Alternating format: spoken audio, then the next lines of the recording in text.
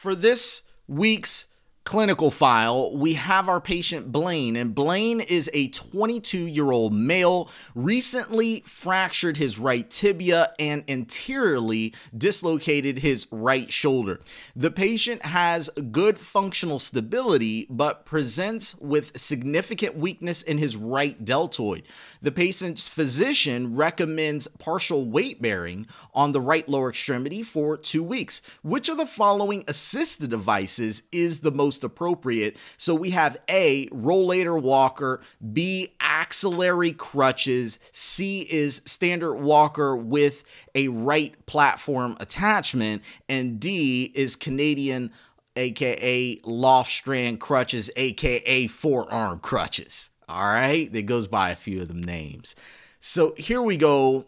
You know, when we start off at the top here, and again, I have to mention this that I'm going to take my time with this question. We're going to talk about a few things because when it comes down to a question like this, assisted device, you know, looking at the the shoulder as well, I mean, there's just a lot of ways that the NPTE can kind of attack this area. So I want you to pull out a sheet of paper when you get to your destination, if you're on the podcast, pull out a sheet of paper and you need to take some notes here. I, I assure you that a lot of these concepts are likely to show up on an exam somewhere. All right. Let's go ahead, jump into it like we always do. Blaine, a 22 year old male. I'll stop there for a second. If you see ages come up on your exam, pay attention to him. 22 year old male, young, right? young guy. That doesn't necessarily mean this patient's able to do everything in the world, but at the same time, if you're younger, you tend to be a bit more independent or have more stability than those who are elderly.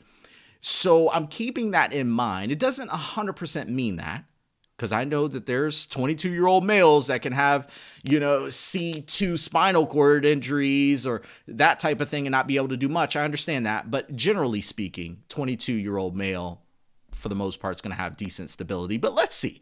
It says 22 year old male recently fractured his right tibia and anteriorly dislocated his right shoulder. So a lot of stuff going on on the right. We got a fractured right tibia. I'll go ahead and underline that. I think that that's important there. And then anteriorly dislocated his right shoulder. So I'm just keeping those things in mind as I continue down. I'm not necessarily making any determinations based upon that. Now, it says that the uh, patient has good functional stability. Ooh, I like this. They're giving me some details. So, good functional stability, but presents with significant weakness in his right deltoid. All right, let's slow up there for a moment because I, I know this question is going to be about assistive devices and all that stuff. Can I ask you really quick? About this weakness in the right deltoid? Like what what nerve innervates the deltoid? Can you give me that? What what major nerve innervates the deltoid? If you're saying axillary, we are on the same page. I love it. Yes. All right, how about the nerve roots? Can you hit me with the nerve roots? You should be saying C5, C6, boom. All right. So just a little neuroanatomy there, but one little piece that I want to make known before we move on is that when a patient anteriorly dislocates their shoulder, the nerve that is most likely injured in that type of problem, anterior dislocation, is going to be guess what nerve? The axillary. So the fact that the patient had an anteriorly dislocated right shoulder and now has weakness in the right deltoid, I'm like, hmm, that's pretty interesting because the deltoid is innervated by an axillary nerve. Axillary nerve is mostly injured in an anterior dislocation. Hmm, that's just something for you to keep in mind, all right? Now and moving forward. Now, it says in the next sentence the patient's physician recommends partial weight bearing on the right lower extremity for two weeks. I think that's important too. We got to make sure at the end of this we select an assisted device that will allow for partial weight bearing. Cuz not all not all assisted devices do that. And then the final uh, sentence, uh, it's the stem of the question says, which of the following assistive devices is the most appropriate? So that's what we're looking for an assistive device that's most appropriate for this case. Now, for those of you on the podcast, let me go back and look at these answer choices again for you. A says rollator walker, B is axillary crutches, C is standard walker with a right platform attachment, and D is Canadian aka loft strand crutches. So let's go down our answer choices. A, had some people select this one, rollator walker. Hmm. So when we think about a walker, who is it typically for? Walkers are typically for elderly patients, not necessarily always, but typically. The major reason why a person would use a walker is because their balance is, is, is impaired, but also their overall stability is impaired. All right. And they need the walker because they need a lot of support. The walker is one of the most eh, restrictive assistive devices that we can give. All right. And so I'm going to give a walker to a patient who doesn't really have good stability and they have impaired uh, balance. And so the question for you is is that what I'm looking at? In this 22 year old male, how many 22 year old males do you see moving around with a rollator walker? Not many, right? And even in this case, it says the patient has good functional stability. And so I'm kind of like, oh, do I really want to use a walker? I know it says rollator, so at least it, it has more mobility to it.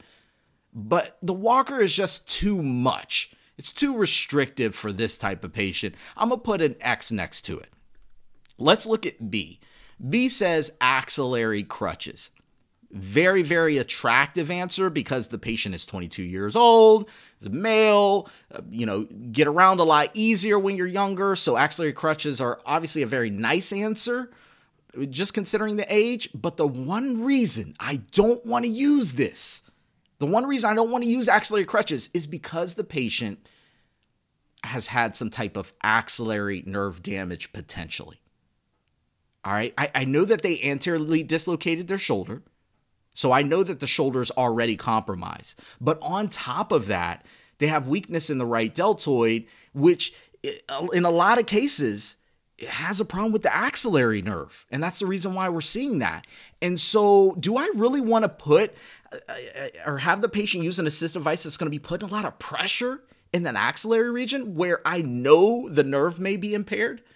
No, I could potentially make the situation worse. And so, I'm going to get B out for the for the major reason that this patient likely has some type of axillary nerve problem and axillary crutches will make this worse.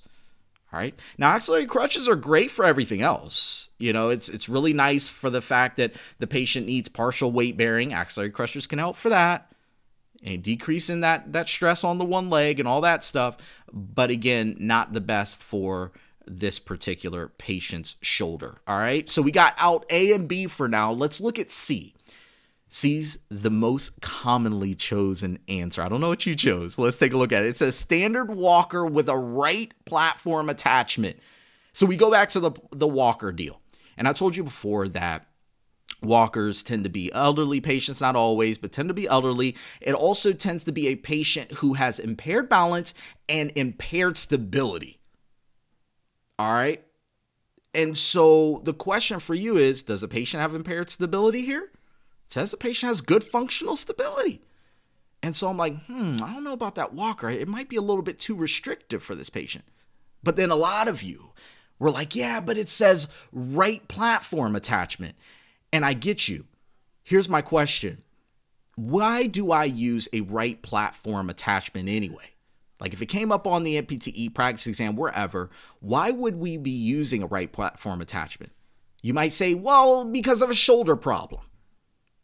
Well, not necessarily true. Actually, a platform attachment is primarily used when the patient is unable to use their wrist or hand. Maybe they have some type of hand deformity. Maybe it's uh, rheumatoid arthritis and the patient's not able to bear weight through the wrist or hand. Or maybe they have a fracture of some sort and they, they shouldn't be bearing weight through the wrist or hand. That's the major reason I would use a platform attachment. You got to think that just because the patient has a platform attachment, it doesn't mean that they're not loading the shoulder still. They're still bearing weight through that. So the standard walker with the right platform attachment, I mean, I really feel like it's a bit too restrictive for the patient's current status, them being good functional stability. Obviously, they're able to move around. Putting them with a right platform attachment I, I, guess you could say that it could help for the right shoulder and maybe decrease a little bit of stress there. But really, the platform attachment wouldn't be used to make the shoulder feel better. Like that, that's not a primary reason why that's used. So I get it. It could be a right answer, but I don't know if it's the best answer let me at least check D. So right now, let me put a little squiggly line next to that one because I'm not 100% sure if C's right. Let's look at D as in dog. It says Canadian, aka Loft Strand crutches. For those of you who are not familiar with those, those are the ones that go around the forearms. Patient bears weight through uh, the wrist primarily with the handle, but they also have the forearm cuff. So it allows our patient to bear weight through the wrist, hand, and also the forearm. Now, here's the thing do I use this for a patient who's younger? Yeah, definitely could. Do I use it for a patient who has good functional stability? Yeah, you, you, you definitely could. Now, here's the real question for you though. Can I use loft strand crutches with a patient who has weak deltoids? Who on the right, if they have a weak deltoid, can I use loft strand crutches? The answer to that is yes. You want to know why? You want to know why? Because a lot of you were thinking, like, no, you can't use loft strand crutches unless you have good upper extremity strength. I get you. But, you know, the upper extremities, when we say upper extremity strength, in the text, they're not talking about the deltoids. They're actually talking about scapular depressors. They're talking about flexors and extensors of the shoulder, which can be a bit more related to your pectorals, your lats, all right. Also, your teres major. I mean, these are a lot of the power muscles that flex or extend the shoulder, but also the rotator cuff can be used to stabilize as well. And so it's like, do we really need a super strong right deltoid in order for a patient to use loft strands? Absolutely not. If you look in the text, that's not even listed as a major muscle that a patient needs when using axillary or loft strand crutches. So here's the deal. If we were making the statement of, oh, you can't use loft strands because the person has uh, a weak deltoid, that's not a, a, a solid rationale because the patient truly doesn't even need that, all right, to use these functionally. So, bottom line, what am I saying? That loft strand crutches will be helpful with the patient who has good functional stability. They're not as restrictive as the walker, so it's going to allow them to maneuver better, move around better with better mobility. It still will assist with the partial weight bearing. The patient will be able to still do partial weight bearing even with the loft strands. And so, right now, if I'm looking at a standard walker with the right platform attachment versus the Canadian crutches, listen, baby, I will always go with the least restrictive assisted device. This is a principle you need to write down. I will go with the least restrictive assisted device as long as the patient can use it safely. And in this case, there's no reason for me to believe that the patient cannot use loft strand crutches safely. That leaves us with our final answer of D as in dog. I know that got a few of you because you selected C or B or A, and you're like, what? Okay, this goes back to the assisted devices, man. A lot of us haven't seen it, am I right? We haven't seen this stuff since patient care skills class or whatever they called it in PT school for you. And the only other time you've ever been using assisted devices is maybe in the SNF, eh, you know, with your CI or acute care or whatnot you've been doing a little bit here and there, but how many times have you gone back to the text and been like, oh, this is why I use this particular assistive device? This is the population I use it with. And this is the type of standing balance that they need. How many times have you done that? Probably not at all, right?